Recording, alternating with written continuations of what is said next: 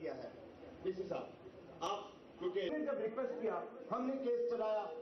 जाए हमारे पास पैसा है। डिसीज़न में कितना इख्तियार बीबीसी के साथ वाबस्ता थी तो ये अपनी औरत इतनी स्टूडेंट फाइनल ईयर क्यों? जैसा कि आप जानते हो, आज हमारे डिग्री कॉलेज पुंछ में एक एनएसएस यूनिट ने बहुत अच्छा प्रोग्राम ऑर्गेनाइज किया वुमेन एम्पावरमेंट पे, जो कि एक बहुत बड़ा मसला आज एक वर्ल्ड फेस कर रहा है वुमेन एम्पावरमेंट पे। तो हमारी जो नाइमा मैम बहुत स्टेट लेवल की जो एक वुमेन इतना अच्छा काम जर्नलिस्ट करके आई हैं यूरोप में तो उन्होंने आज यहाँ पे ये प्रोग्राम वुमेन्स के लिए रखा।